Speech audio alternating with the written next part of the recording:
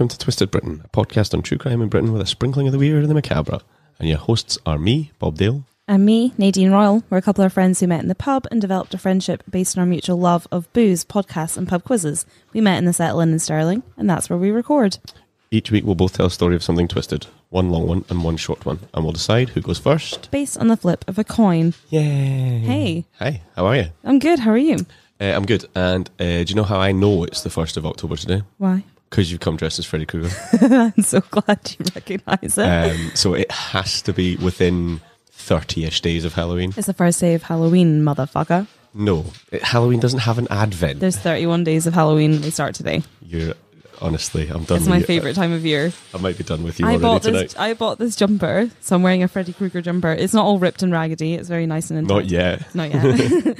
um, yeah, wait until I fall down drunk on Halloween. Um, yeah, I bought this jumper whilst I was just out shopping. I thought, you know what? I deserve some new clothes. It's been a long time. I went shopping, went into this little shop who already have their Halloween regalia out, and I saw it, £12, bargain, as if I'm not going to buy it. And it's like super cozy. It's my winter jumper. No, it's your Halloween jumper. Well, yes, but I'm also going to wear it all year I'm not going to let you. Tough shit. Next week, I'm waiting until you see what I wear next week. Uh, The same jumper. No, I've got another one. Uh, so, for those of you listening, if you, in case you haven't guessed or haven't listened to our episodes in the past, Nadine's a bit of a fan of Halloween. Just a small bit So fan we- of the spooky. So, although it is the start of October, we will have a special Halloween episode coming out. It'll probably just come out On Halloween is what I thought we decided. Yeah, on the normal time. So, it would be in place of our normal episode that week. Is it? Is it? Halloween's a Thursday. Okay, are we doing two then? Two that week? I thought that's what we should probably discuss this off air, but I thought that's what we discussed. Okay, cool. Should Uh, I consult the actually let me consult the calendar Check before the we schedule. I've got it down that we're doing Halloween release on the thirty first and another normal episode on the on the first. Well, lucky you lot. You get uh, two episodes in two days. Lucky me, I get to edit two episodes for that week as well. yeah, the one that comes out on the first we will be recording that week. So yeah, that's fine. Don't worry about it. happy Halloween. Yay. Yeah, no. Um So, yeah, how's your research gone this week? Yeah, fine, thank you. How's yours? All right, are we going to be honest and say the two of us were slightly confused as to what we were doing? Oh, there's been a big um we had a bit of a like a blunder, didn't we? Last month was it? Where It was entirely my fault, yeah. yeah, but whatever. We're not pointing fingers. You are. you are currently pointing fingers at me. Um but yeah, so we were confused as to who is on long and who is on short. But we both seem to think I was on long. So Either way, we've basically hit reset and start it again. So Yeah. we'll go from here. also by the way, can we just bring up the fact that we've not recorded in two weeks and we actually just killed our intro? We I, nailed I that. was I was trying to ignore it in case we jinxed it. well, we've So- done it now, we can't jinx it now. No, I mean for the rest of the podcast. Oh. oh wow. What have you Um, been doing? You've not been very well. Are you, are Uh, you well I now? have- I'm, I'm better. Yeah, yeah. I'm not. You just sound a slight bit husky. It's a bit sexy. Yeah, my my sex, yeah, sex phone voice. That's what it is. um, yeah, my sex phone, not my phone sex. It's, it's just slightly different. It's my business. Yeah, you know. So you've got like a work phone, a home phone, sex phone. Uh, yeah, yeah, and then my burner, of course. of course. Who's not got a burner? Is Um, that for organising all those illegal uh, ASBO barbecues that you are such a fan of throwing? would you stop telling everybody about them? Sorry. They're just going to get out of control now. uh, no, I'm good. Since, in fact, since we've recorded last, I've been away for, with work. Yeah, you went to Amsterdam. How was it? Uh, I really don't know. I spent most of it in my bed. That's sad. Yeah, so I went to the the, the work crap during the day, uh, and then back to the hotel pretty much. That's a bit boring, isn't yeah. it? The day I left, I went for a nice walk through Vondel Park and stuff like that. That's so nice. it was sunny, so that was stuck the cans on, listened to a podcast, uh, and went for a walk. It was good actually. Lovely.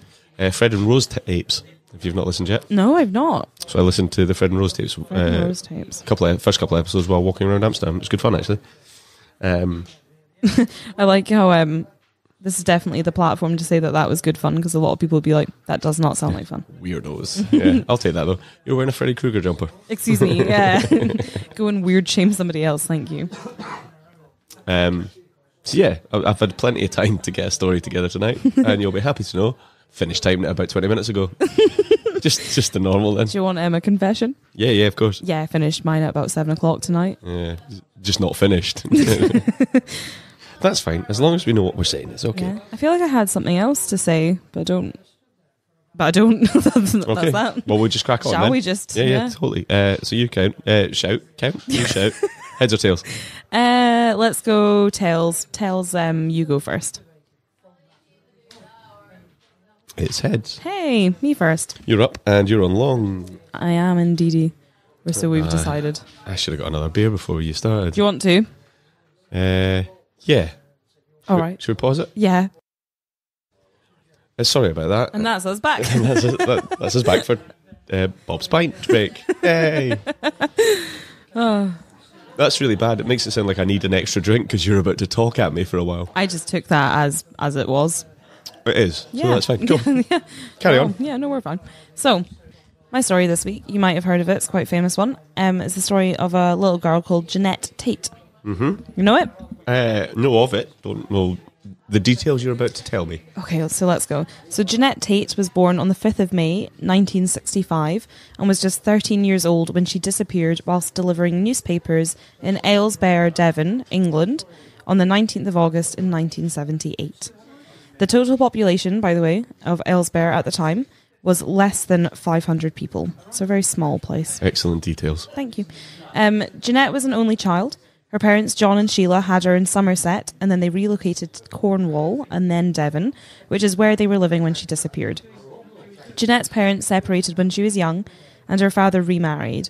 She lived with her father and her stepmother Violet and her stepsister Tanya at Barton Farm Cottage in the East Devon village of Aylesbeare. Though she lived with her father, she did actually keep contact with her mother. Jenny, as her family called her, enjoyed school and her ability at maths had amazed the family from a young age. Do we know why she lived with the dad, not the mum? No, No, just because I think in that kind of time frame. yeah, it's quite it's bit- unusual, isn't Yeah. it? But no, I don't know. Um, she loved. She also loved animals, writing, and composing poetry, and was curious about the world, which apparently was a facet of her personality, which helped her to overcome a natural shyness that she had. Okay. So, by all accounts, a lovely little girl. Yeah, I was about to say that. She sounds like a lovely girl. Um, there was nothing exceptional about August the 19th uh, in 78. John, her dad, left the house at 7:30 a.m. to take his wife Violet to work at the hospital in Exeter. He was back home for 10 a.m. to make the two girls breakfast. Tanya was preparing to go on a fortnight's holiday to Cornwall with her birth father, um, and the girls went off to the post office for some sweets. At 20 past 12, midday, uh, John drove Tanya and her boyfriend to Exeter to catch her coach, leaving Genette alone at home, and that was the last time that he'd ever see her. It's always a horrible sentence, isn't it? I know. Yeah. Um, but all accounts, a normal day. Other than never seeing her again. Yeah. Um, Genette set off from Barton Farm Cottage sometime after 2 pm to deliver copies of the Express and Echo newspaper. Riding her blue Kalkhoff bike, she rode through Aylesbeare along Within Lane and out of the village to the busy A3052, um, which is the main road that connects Exeter to the seaside town of Sidmouth. It was busy with holiday traffic as she crossed the road, and outside the White Horse Inn, she collected a bundle of papers from the delivery van and began her round. Genette disappeared while delivering newspapers shortly after 3:30 p.m. on Saturday, 19th of August, 1978. Moments before she disappeared, two of her school friends saw Genette walking along Within Lane pushing her bike. Genette had delivered 14 newspapers by this point and talked briefly with her friends as they walked up the lane. At the top of the hill, Genette got back on her bicycle and rode ahead as her friends paused to read an article in the newspaper that she'd given them. Genette would not normally have been doing this paper round, um, but had agreed to do it for one week as the boy who normally did it was away on holiday. And sadly, this was actually the final day of her doing this newspaper round. So she wouldn't have normally been in this area. No, she she had a paper round anyway. Yeah, she had one anyway, but this wasn't her round. That was extras, ex- holiday extras. Yeah. Um, several minutes after seeing her, the two girls discovered Genette's bicycle lo- lying in the middle of the road. Several newspapers she had been scheduled to deliver were scattered across the tarmac. Genette would have remained in sight of the two girls as she cycled ahead until she'd gone around a bend in the road. So it's reason that whatever had happened to Genette happened within around five to ten minutes of her bumping into these two girls. Because like they just like kind of like casually meandered behind her as she cycled on up ahead to deliver her papers Right. Okay. and they like could see her. She went round a bend. They were just strolling along the road, came around the bend, and there's the bicycle and these strewn newspapers on the road. That's terrible. I've got this uh, image in my head of like the back wheel spinning yeah, like on the still, bike. yeah, and, like and, still yeah, uh, spinning. So around 25 minutes later, um, after they discovered the bicycle, John and Violet Tate returned home um, to find the two girls there with Genette's bike, and the girls were asking, you know, is Genette at home? Like she's left her bike in the road. Yeah. And when they discovered that she wasn't there, the two girls, John Violet, and several of their friends and neighbours began searching around for her, like looking over hedges, like Yeah, calling out her you would. name Yeah, up and down the course, yeah. roads, you know, like wondering where she's gone. Um, and at around 5 pm, John then reported his daughter missing to Devon and Cornwall police. So this is how long later? So it was about 3.30 she went missing. Okay, so hour and a half. Yeah, hour and a half passes of you like searching around and then eventually you go like, That's a fair. where um, is she gone? that's a fair time to go. Oh, she could have just done a bolt or be in the park or something like Mm-hmm. yeah, that. but I think like the thing with Genette was like this was very out of character. Like she was a very good little that's girl. good. like, yeah, you that's know, what I could actually use. she wasn't like the type to just like bounce and like not you Yeah. know say anything. Um, within hours of Genette's disappearance, police mounted an extensive search. The search for Genette Tate would prove to be the most extensive search for a missing person in the history of Devon and Cornwall police. So, 70 uniformed policemen and 50 detectives from Devon and Cornwall were assigned to the search, and they were assisted by mounted police from Avon and Somerset as well. Um, there were also RAF and rescue helicopter searches overhead, and whilst they were going on, all of the ponds in the Aylesbeare area were searched by underwater search units, and search dogs also looked in the surrounding Yeah. terrain. So it was like a That's a massive, big- straight big off the bat, yeah. massive search like ensued. Because you have to remember as well, this is like seventy eight. Yeah, This isn't like the norm. Like for a small. A small, small town, like under 500 people in Yeah, this yeah, town, totally. for this girl just to vanish and nobody and then like a quarter of the population of the town in police officers turn up. Yeah, to look for her, Yeah. and there's nothing, Yeah, that's mad. no sign. So, police commandeered the village hall and coordinated their searches and daily briefings from that building, which was a stone's throw away from Barton Farm Cottage where she was living. But as the first 48 hours slipped by and there was no sign of Genette, the initial high hopes were given way to like a growing anxiety that something very bad had indeed happened to her. I think that's a fair Completely, presumption. completely normal. Yeah. Yeah. So, put in charge of the missing person investigation was Detective Superintendent. Super what now? I don't know. Superintendent. A superintendent. what does what does he do, Nadine? Jesus, it's been ages since I've had a proper stumble. As well, a superintendent, um, of course, Is an intardent that wears a cape. I don't even know. um, so put in charge of the missing person investigation was Detective Superintendent Oh, sorry. Did you mean superintendent? right. Okay. Eric Rundle. He was a vastly experienced officer and the second most senior detective in Devon and Cornwall. Bel- below him, detectives were divided into teams, each with responsibility for a specific area. The police quickly dismissed the idea that Genette had ran away from home, as when she went missing, she had no other possessions on her person other than the clothes that she was wearing. She had also left behind money she'd been saving for an upcoming family holiday in her bedroom, and further to that, she'd left the customers' money that she'd already collected on her paper round in her purse, which was still on her bike. So this is definitely not a runaway. Yeah, she's not just bounced, like, and also like as if you'd get off your bike to run away, you'd go on the bike. You'd bike. take the bike, wouldn't you? Of course you would, yeah. So like she's got no money, she's only got her clothes on, so you know she's got nothing with her. Um, and of course that's back way before having a mobile phone and stuff on your person was a thing. So she's just vanished into thin air, quite literally. Yeah. Um, the possibility of a hit and run traffic accident was also ruled out, as there were no tyre marks on the road and her bicycle was undamaged. It was thought quite quickly that she had been abducted. Oh. And if it had been anything, if it had been like a car accident or anything like that, her friends would have heard. She Yeah, they would have heard and they would have- far away. They would have probably reached the scene As, as it yeah, happened after it happened, Yeah, yeah. you know. Um, so it was quite quickly thought that she'd been abducted, and a description of Jeanette was circulated. She was described as boyish, five foot tall, with close styled brown hair. She was suntanned, and she was wearing a white cotton t shirt with her name embroidered in red letters on the left shoulder, light brown trousers, and white plimsolls.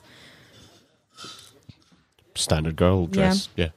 Um, eyewitnesses reported seeing a maroon Triumph or similar vehicle upon Within Road at around the time of the disappearance, and police issued a photo fit picture of a man they wanted to question in relation to the incident.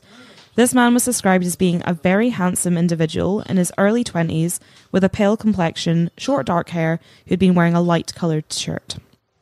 Uh, me until you said dark hair.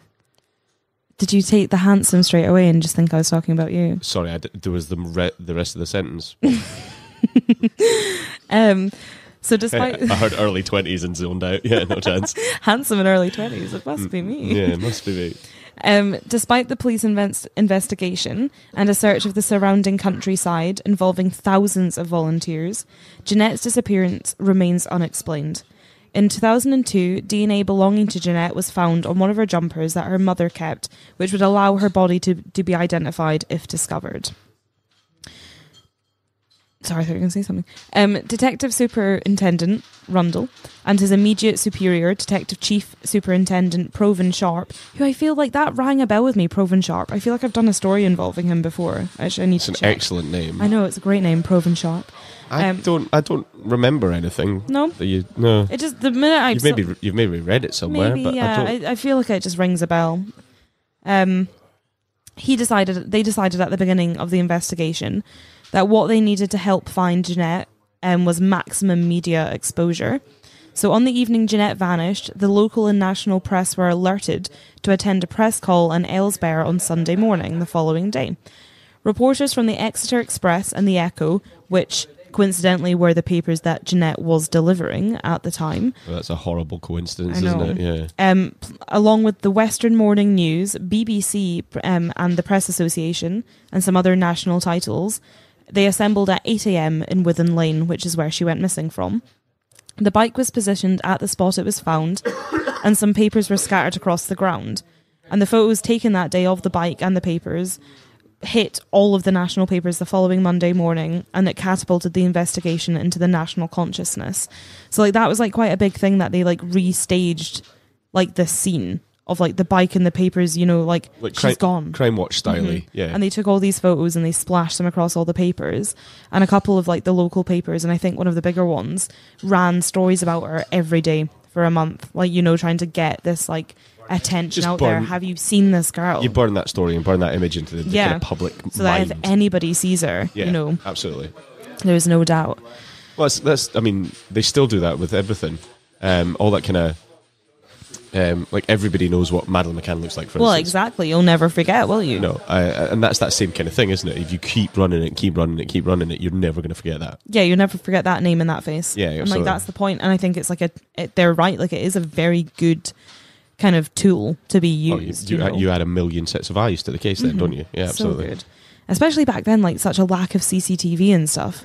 And probably loads more people reading newspapers. Oh uh, yeah, because you're not on your phone all the time and stuff. You Yeah. don't have them, so yeah, Yeah. you're reading the And paper. You've not got that 24 hour, uh, seven day a week news coverage rolling on the television and all Mhm. that kind of stuff. So, yeah, that, that that's your main That's your out- outlet. uh, yeah, absolutely. Yeah, for sure. So, but nonetheless, nothing. Still nothing. Um, and then in the early 1980s, so a few years after, detectives travelled to Australia to interview a potential new lead. And for a brief moment, hopes were raised that a suspect had been identified, but it wasn't to be. Police decided the lead was a dead end, and for almost 20 years, the investigation headed nowhere. Cold case. hmm Yeah. I think this might be one of my first. I, I was going to say, I don't think you've done a cold case. I don't know if I have. Um, police were convinced somebody had abducted Genette, and the most likely outcome was that she had been transported from the scene and murdered, and it was a reality that nobody wanted to face. But um, in the 1990s, a man was arrested in the Scottish borders after abducting a child. His crimes were so abomin- oh, I wish I hadn't put that word in. His crimes were so abominable Abhorrent. Thank you. That he was deemed a monster. Serial killer Robert Black Uh huh. was convicted in 1994, the year I was born, for similar for similar crimes involving the abduction and murder of three young girls in the 80s, and was subsequently questioned by Devon and Cornwall police in connection with the Tate case. During the course of his job as a long distance delivery van driver in the 70s, Black had made deliveries in the Exeter area, so it was reasoned that he'd know it pretty well. It was also believed that his timeline would fit perfectly, because if he was working in the area and knew it well, he could have abducted Jan- and murdered Genette at the end of the 70s and then moved on to his next victims throughout the 80s. Right, okay, yeah. So his victims were, just to put it out there, I might cover it properly one day, but Yeah, absolutely. just to, to put it out there, his victims throughout the 80s were Susan Maxwell, who was 11. She was abducted, sexually assaulted, and murdered on July 30th, 1982. Black disposed of her body 264 miles away from where he had taken her. Another victim was Caroline Hogg, who was five, disappeared on July 8th, 1983, and her body was found 310 miles away. And on March 26th, 1986, Sarah Harper, who was 10, vanished after going to buy bread at the local shop in Leeds, and Black dumped her body 71 miles away from where she was taken. So the, the kind of MO fits then. Fits perfectly. Yeah. In 1996, an eyewitness claimed to have seen a vehicle of the model he, which Black was known to have driven um, at Exeter Airport. So they said that they saw it at Exeter, Exeter Airport in 78 on the day of Genette's disappearance. The police inquiries were unable to establish that Black had been in Aylesbeare that day, and um, though there were like several recorded interviews conducted with a pioneering expert in the treatment of child sex offenders, who was named Dr. Ray Wyre, which he did this back in the 90s. Black disclosed extensive knowledge of the precise scene and circumstance from which Genette was abducted. Isn't it a horrible world we live in that somebody needs to have the expertise in that? Yes. Really is, isn't it? Yes. That's, that, that, that was my first thought there when Sad you said reality, that. isn't yeah. it? Sorry, that was no, just yeah. not at all. The Crown Prosecution Service decided in August 2008 that insufficient evidence existed to charge Black with Genette's murder. After Black's conviction in 2011 for the murder of nine-year-old Jennifer Cardy, um, they tried to like mount a new case against him because there were such similarities. So Jennifer was abducted and murdered by Black on August 12th, 1981, so 3 years after Genette had gone missing. He struck her and took her while she was cycling to a friend's house in Ireland. So it was like when this came about he was he so he was like convicted of the 3 that he did throughout the 80s. He was convicted in the 90s. And then it was later on that they then convicted him for this fourth, Okay. which yeah, he'd yeah, done previous to them. Yeah, absolutely. Um, so they managed to finally like stick him for that, you know. Yeah. And it was thought, you know, that was 81, so it's totally reasonable to believe that he could have committed another one way before this, like a few years before. So you've backdated it far enough that, that another step in time doesn't make any difference. yeah, why would it? Yeah, absolutely. Um, Devon and Cornwall police reviewed the case in June 2014 in the hope of finding sufficient real evidence to prosecute Black. At the time of Black's death in January 2016, Devon and Cornwall police were just five weeks away from submitting a file to the Pr- Crown Prosecution Service in which they sought a new decision on whether to prosecute him for Genette's um, disappearance. The file was submitted in April 2016, and the Crown Prosecution Service said that due to Black's death, there would be no posthumous decision to charge him with Genette's murder. The full extent of this police case against him has never been revealed, but it is known that a witness claims to have seen Black acting suspiciously, suspiciously on August 19, 1978, at Exeter Airport. There is also believed to be a petrol receipt which puts Black in the southwest at the time, though it is not known exactly how close to Aylesbeare this receipt places him. But that was like a major part of the case that they built against him. Like like in later years, they found this receipt that would place him near enough that it wouldn't be without the realms of ridiculousness. Based know, on the amount of fuel he bought, he could have made it there with from from wherever he bought it. Yeah, right. Okay. Um, on the 25th anniversary of the case in 2003, Genette's parents, John and Sheila, both stated that their belief is that she is no longer alive. Police have amassed more than 20,000 cards in a filing system related to the case, which are stored at the Devon and Cornwall Police Headquarters in Exeter. And in August 2018, on the eve of the 40th anniversary of his daughter's disappearance, John Tate made a further plea for information about the case, saying, I'm not even 100% sure Black did it. I need proof that Black killed her. He said that his rapidly declining health meant that he could no longer make his annual trip from Manchester to Aylesbeare, and that his final wish was to give Genette a dignified Christian burial and to be buried alongside her, but sadly, her body is still yet to be found. That's awful, isn't it? Mm-hmm. You've got to wonder then, do they? I wonder if they hold any hope because they haven't found the body yet that she may still be alive. They said, like they said, that they they believe she's not. They've absolutely they've, yeah, they've given up hope entirely. Yeah. Well, it's been forty years. Well, yeah, no, uh, but Which I'm, just, I'm, yeah, like I say, I'm thinking She'd out be loud. Yeah. fifty-three if she was alive.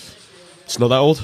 It's not that old, but you'd like wonder, you know, like She would have thought, "Who am I?" by now. and like if you were kidnapped at thirteen, you'd surely have a pretty good memory of. Yeah, that's true. Actually, it's not. She like wasn't like a tiny You weren't a baby at that Yeah. point. No.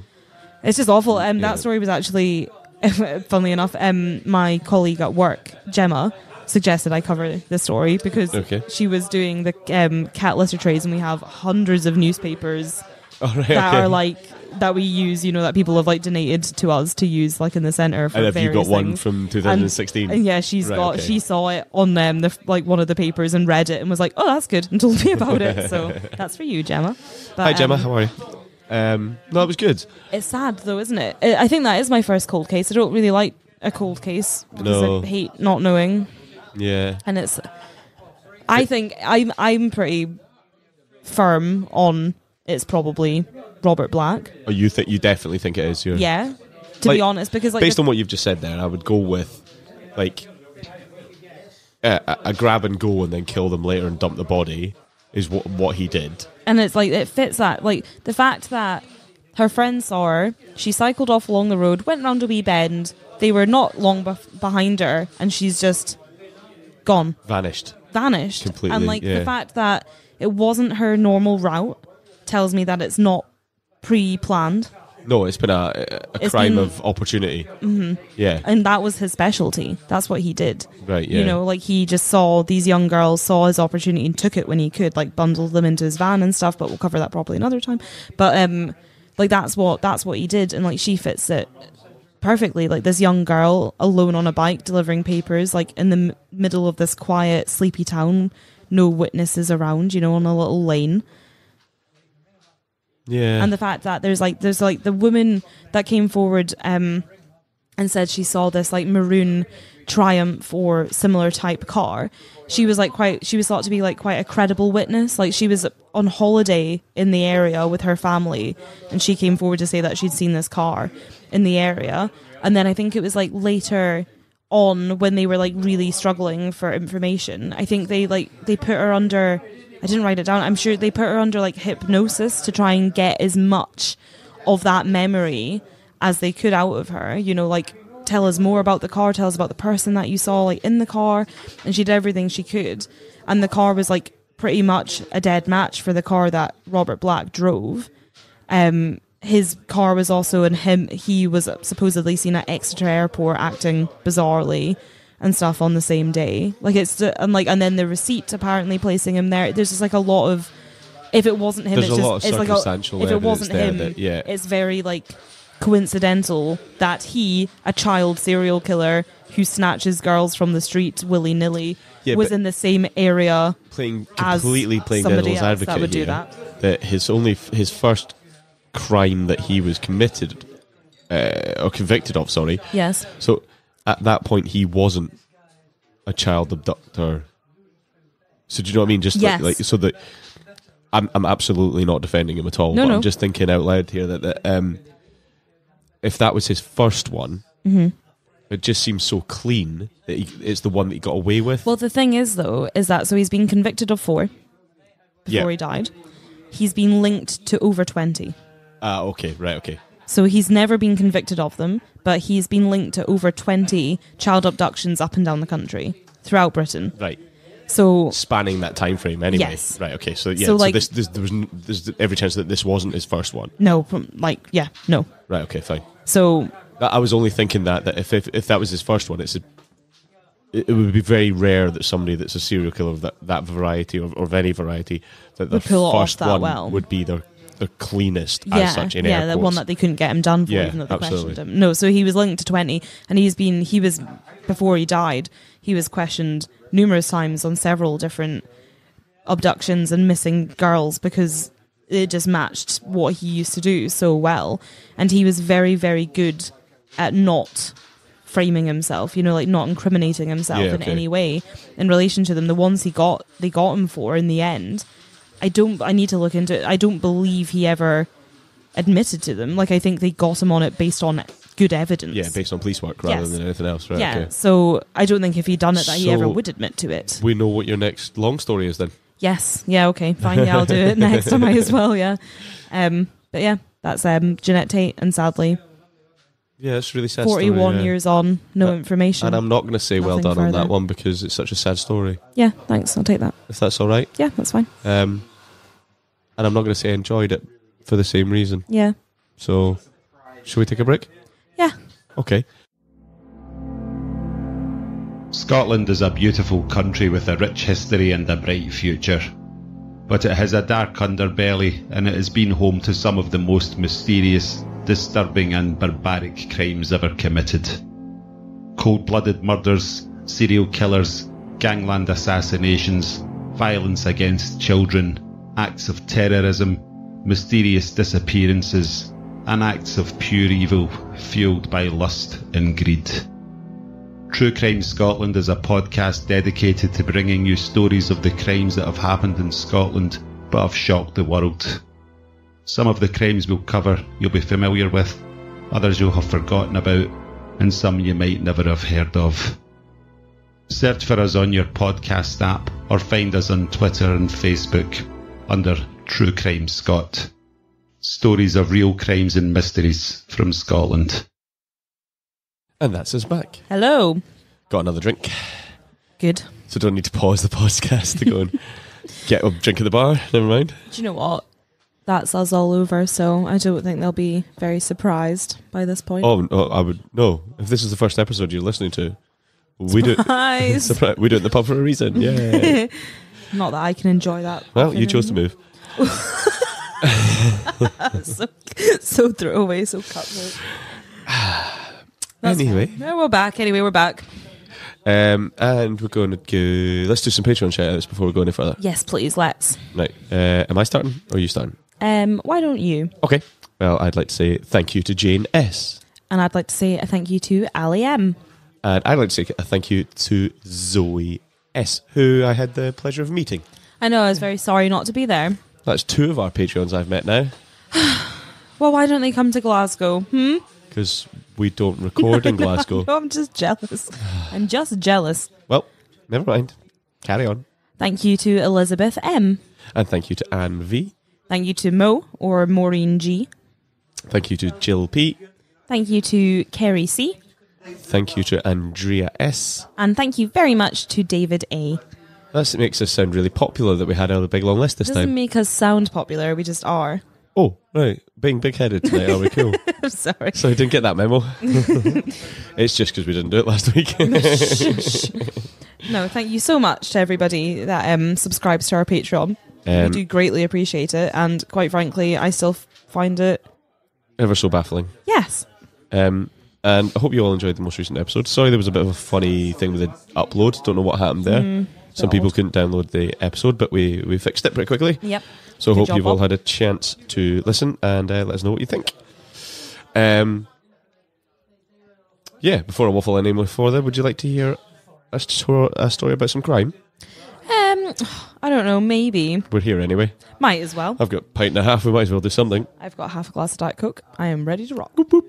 And I just ate some caramel shortbread. This pub is laden with snacks tonight. Why? Why is there so many like half tuna rolls kicking about? Domino's, Domino's League. Ah, Dom's League night. they always put on a spread in the settling. Yeah, if you're ever like hungry, peckish, and it's a Tuesday night and it seems it's the right time of year, come into the settle-in, get a wee roll, sausage roll, half a Scotch pie, perhaps. I know. I brought chips up the road. I wish I hadn't bothered. There was pies and all yeah, sorts. shouldn't the pies were hot as well when you arrived. I had, a, I love it. I love a hot pie. I had half of one. It was very nice. Sorry, please I, I did say I was going to stop gibbering, but here we are. So my story this week has two names. I'm going to let you choose which one that we're going to use in the title. So it's Oh. up, entirely up to you. Oh, thank you. So it's either the cleft chin murder Oh my god. or the GI gangster and the stripper. Oh. Ooh. I like the cleft chin murder. Oh, do you? I yeah. really thought you were going to go with gangster and stripper. No, it's too obvious. Okay, fine. Too obvious for me. I like the cleft chin. well, we'll get to why it's got both those names shortly. Excited. Um, so this is a bit of a kind of roller coaster story uh, that kind of that uh, revolves around a woman called uh, Elizabeth Jones and her very short but quite intense week that she spent with a man named Carl Hulten, who was an American soldier who she met in London. Okay. So in 1944, um, Elizabeth was an 18 year old Welsh girl who'd had a rather rocky youth. She was born in Neath in South Wales, which is about 10 miles from Swansea, in 1926. And yet in 1939, aged 13, she ran away from home. Three years later, by the time she was 16, which was 1942, she was um, on her wedding day getting married to a soldier who was 10 years older than her Oh. by the name of Stanley Jones. And by her account later on, she had been well, beaten on her wedding day by her husband Oh. after they got married. Oh, well. Yeah, wh- why? Why Is that not? before? I thought that was what consummation was, no? And I'm leaving that sigh in. To, to you, it may be. Tell me about your parties. However, after her uh, lovely wedding night, uh, she decided to run off again, obviously. Well, I yes, good decision, I think. This time she disappeared off to London in early of 1943, where she found work as a waitress and as a stripper. And she performed under the name of Georgina Grayson. Hmm, quite classy. Yeah, I quite liked it. That's why I put it. I was like, Yeah, I quite like that. It's yeah, quite nice. that's why I popped it in. Yeah, um, and she carried on working with, uh, as both until the following year, when in October of 1944, whilst in a wee tea room in Hammersmith, she met an American GI by the name of Carl Hulten, H U L T E N. Hulten was born in Sweden, but not long after his birth, his parents and him moved to Massachusetts, where he went to school. After school, he worked a few jobs before enlisting in the U.S. Army after the U.S. were dragged into the First, Second World War uh, after Pearl Harbor was bomb- bombed. On the day in October of 1944, Hulten introduced, introduced himself to Elizabeth as Ricky Allen, a lieutenant in the American Army. But the real facts are he was actually a private who was currently AWOL, uh, absent without leave, from the 501st Airborne Division of the U.S. Army. Elizabeth told him in return that her name was Georgina Grayson, or Georgie for short. Cute. And so they were both living in a bit of a dream world where they were playing the part of exotic dancer and officer in the army. Both were known to be a bit of, uh, I put dreamer, but they're both kind of just fantasists. They both wanted to live these crazy lives and, and, and be somebody. With Elizabeth or Georgie having said that she dreamed of something do, doing something exciting with her life. And, well, Ricky, Carl, was there to try and help those dreams come true. This is like the start of a fantastic romantic story. Oh, it takes a turn. I bet it does, It- based on the nature of this podcast. Yeah, yeah. I'm So glad, far, I'm enjoying. I'm glad I've set it up for you. You've said this I could do. whimsical, uh, we could lovely. We could do it as one of those like dice stories. If you roll evens, I'll tell you about the murders. if, uh, if if we roll odds, I'll just tell you. I'll make some shit up. oh, one of those. Stories. one of those stories. I don't. What are they called? Um, pick your destiny type like things. choice stories. Yeah, yeah, you know what I mean. yeah. Um, so they, whilst were together in the tea room, they decided they would meet the, the following day for a date. And the next day, Carl slash Ricky picked up, uh, picked her up in an army, U- a U.S. Army vehicle that had clearly been acquired from the base before he went missing. Well, in what turned out to be the start of a kind of crazy crime spree for the next six days, the first date was a bit of a different one, and they decided to go on a drive and um, trying to show him how much of a uh, crazy man he was. Uh, Carl knocked a woman off a bike with the truck, jumped out the truck, and robbed her as she lay, lay in the road.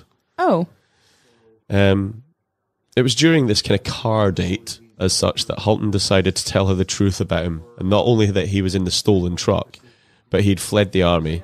But he also showed her the service revolver that he had stashed on him. All of this had seemed to be a bit of a, a bit of a turn on, kind of a, excitement, a bit of a streak to to Elizabeth, who told him she wanted to be a gun moll, oh, who was a female companion to a gangster, essentially. yeah.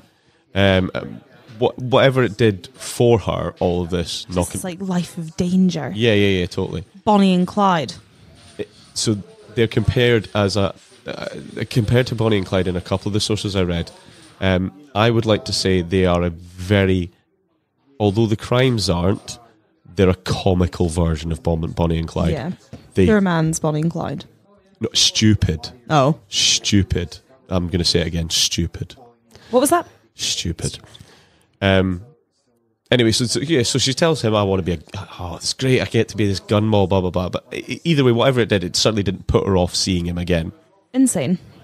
So the next day, they took another drive in the car, and this time the plan was to rob a pub. Now, this is the bit that shocks me the most. You never rob a pub. It's just not what's done. What, it's- Why? It's where you go when you feel s- like when you've been robbed. Where do you go? You go to the pub. Pub. So Do you know what? The pub is the answer to everything. You're in a good mood. You want to share your good news? Pub. You're having a bad day. You want to moan? Pub. want to start a random podcast? Pub. There you go. Do not rob it. Fuck off. There you go. Um, rant over. The duo decided, have obviously changed their mind at some point during the day and decided that they wouldn't go and rob the pub. They would um, rob, rob a taxi instead. Uh, however, this didn't quite glo- go to plan. The plan, as such, was to pick a taxi and wait until the passenger left the taxi and then hold it up at gunpoint.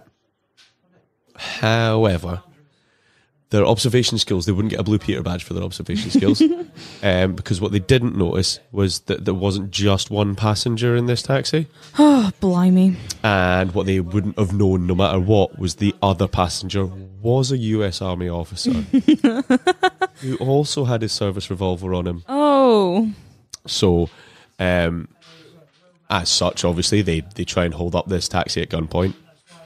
Army officer draws his weapon, and the two of them go, ah, fuck, bolt. Um, and but they did. They managed to scarp her, and they lived to try another day again. Mm-hmm. However, they fled the scene, and they decided that that's not all the fun you can have on a second date, is it? Oh, Lord. Um, so they decided to pick up a girl from a local train station Okay. and offered to drive her to Reading instead. You know, here, oh, we'll get a lift. Come on, jump in. We're a lovely couple. Look at us. Um, however, they stopped on the way, faking a, a flat tire in the car, and just beat her to within an inch of her life uh, with a metal bar, stealing her bag and throwing her into a river. Wow. Wow. The classic second date. I thought that was more like third date territory Well- myself, but these kids are moving faster in love. I get it. They're young. They're young love. young. Um, Young, dumb, and in their final act, they two went a step further. They decided they were going to rob another taxi and get it right this time. So on Friday, October 6th, uh, 1944, they summoned a private hire cab from the side of the road. Uh, this cab was driven by a man uh, by the name of George Heath. George, when he pulled over, pointed out to him that he was a private hire and already had a job that he was on his way to, so he couldn't really take them anywhere. She managed to convince him that it was just a wee run home on Eden, and it's on your way anyway. Uh, and and he agreed at quite an extortionate fare to take her. Um, at which point, uh, Carl saunters out of the shadows and joins them in the cab as well.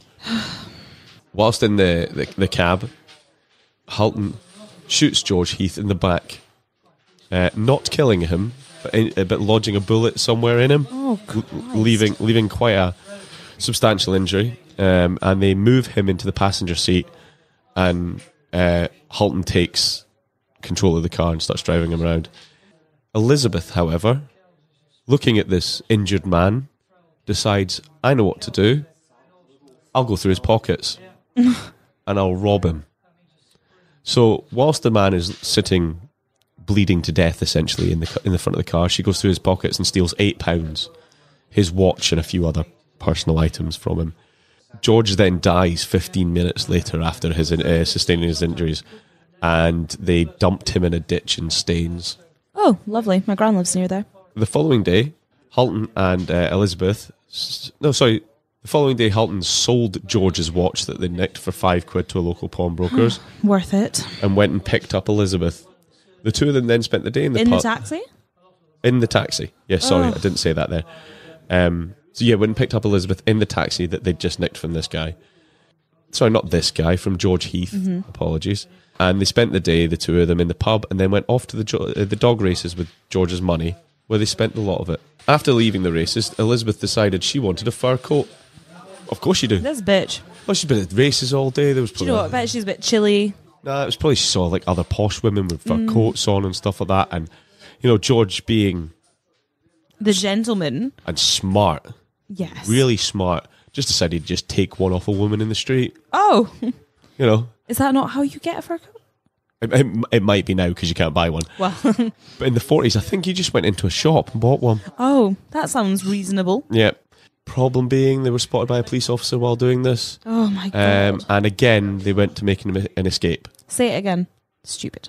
Well, I've, I've written this exact. This is the sentence I've written Here here we go.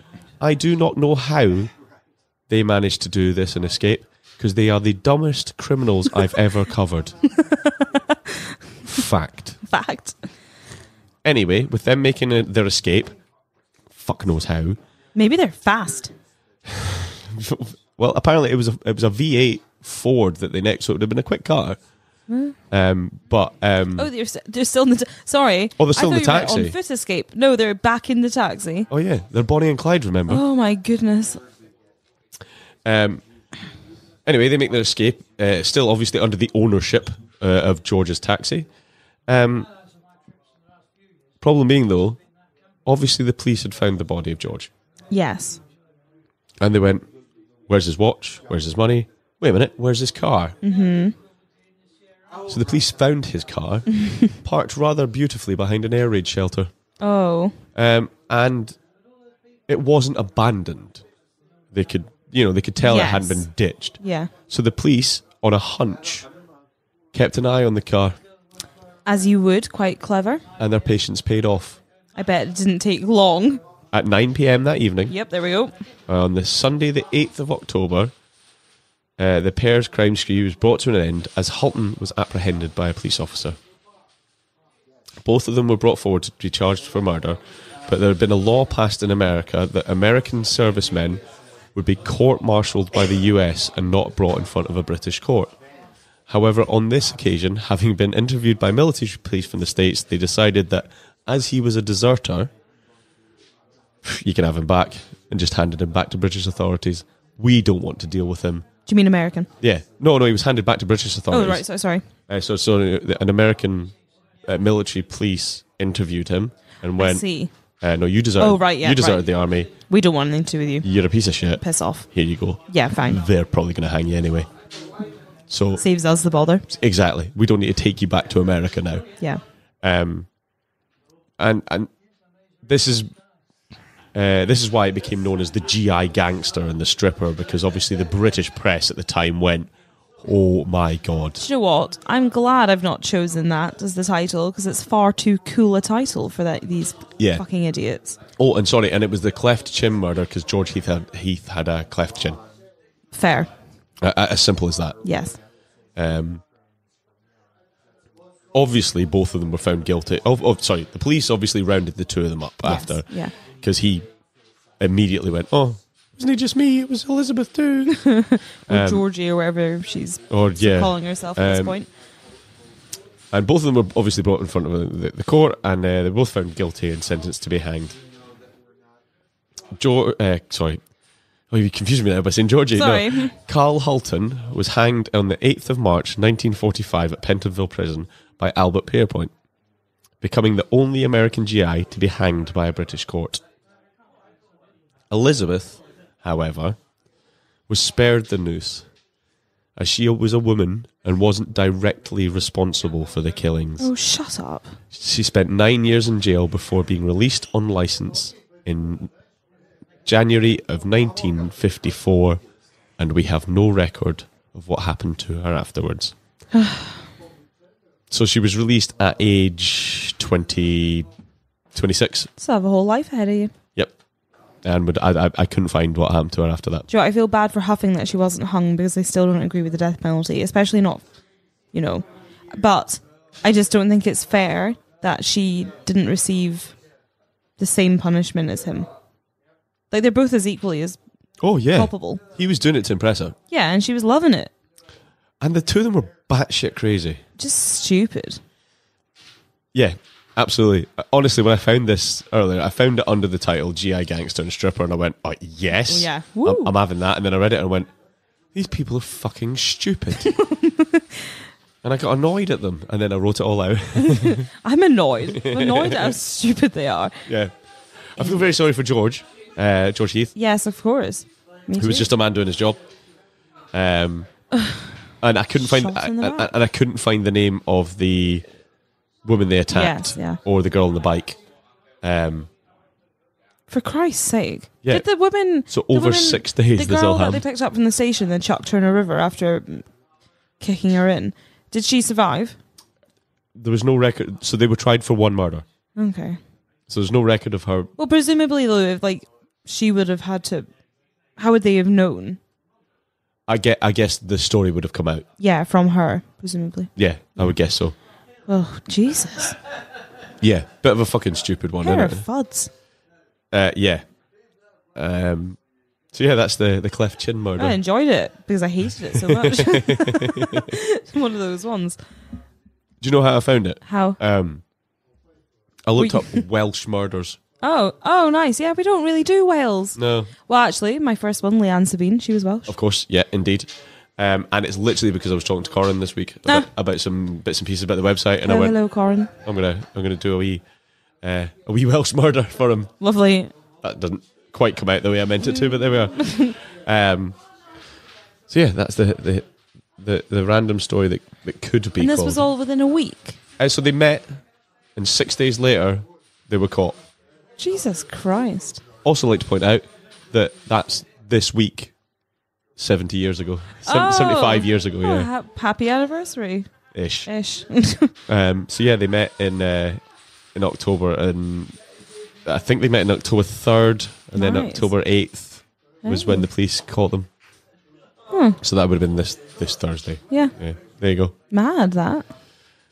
So yeah, like I say, that's the story that, of the cleft chin murder, and it was just a wee funny one that I, not a funny one, but you Yeah, know what I mean. It was just a wee bit like Yeah. this is silly, and I quite liked it. Yeah, so. I quite enjoyed that actually. Um, if you have enjoyed what you've listened to, what is see that segued? This is so professional. Segued. until we, Um, until if we you've liked- comment on it. Uh, if you've liked what you listened to, please do uh, go on to wherever you download your podcast from and do hit rating and uh, reviews. Give us a little subscribe if you really, really like it. Please do subscribe. There are 37-ish uh, episodes out now, Yeah, if you include our, specials. our specials. Um, and and if that's not enough for you, well done. why don't you go onto our Patreon, Segway. become one of our beautiful patrons, and you can listen to our one, uh, like our monthly special episodes that come out for our patrons only, Indeed. Extra, one and they cover like anything. Yeah. and wonderful.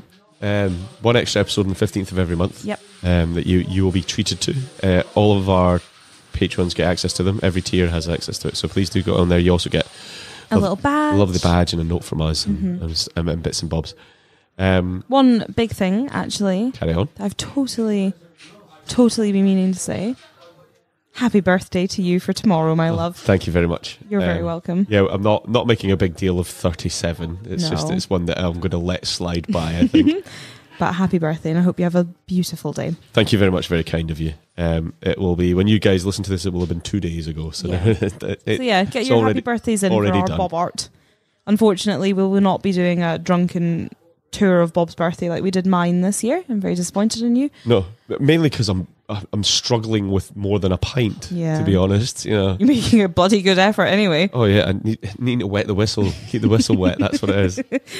Um, if you'd like to uh, chat with us or see our, uh, see what's going on in, twist, in the, the world of Twisted Britain, please do find us on social media. You'll find us on Twitter. Twisted Britain. You'll find us on Facebook. Twisted Britain. You'll find us on Instagram. Twisted Britain. You can also join our lovely discussion group that's growing all the time, which is on Facebook, and you will find it by looking for. Twisted Britain discussion group. It's a really original name that we came up all by ourselves. Took us days, days of thought. Storm like clouds. Storm clouds. Where they could brainstorm word clouds. I think yours is probably more Storylines. is a storm cloud than anything else. I don't know what's happened to us this week. Moving on. We've been like fifty percent cr- in, on top form, very professional. Oh, c- cool. We are keeping that big ego up to this right through the whole podcast. Fifty Then. percent total nonsense. Right, yeah, totally. You're fine. um, you're the fifty percent nonsense. Ouch. Um, yeah, you can also check out our website, which is back up and running. It's a nice place to find uh, all the episodes and stuff like that. They they should automatically feed into that. You can Uh, also email us. Oh, you can. Sorry, I meant to say this at the end, didn't I? I said I was going to do this. Yes. Somebody messages us to say that um, they don't do social media, but they'd like to get in touch. And if you'd like to get in touch with us, but you don't do social media, Um, A, well done for not doing social media. Congrats. But B, you can email us at twistedbritainpodcast at gmail.com. One more time. twistedbritainpodcast at gmail.com. Twi- Twisted Britain Podcast, all one word, at gmail.com. Other than that, you can find our merch links on all of our social medias and blah, blah, blah, blah, blah. Um, and a big, yeah, just a big thank you very much for listening to us. And if you've made it this far, well done. Yeah. uh, so we'll just go with uh, thank you, love you, bye. Thank you, love you, bye. Don't date men that have cleft chins, bye. That's rude. No, sorry. That's a terrible end. I'm just going to stop you right there and say it was George Heath that had the, it was the murder victim that had the cleft chin. Oh, you didn't, that didn't come across. oh sorry, that's what I meant to say. Oh, I thought you, no, I think you did say that. I got, I've gotten He was a with all the hard George worker- and the Georgies and stuff. He was a hardworking man. Date men with cleft chins. Thank you, love you, goodbye. Jesus.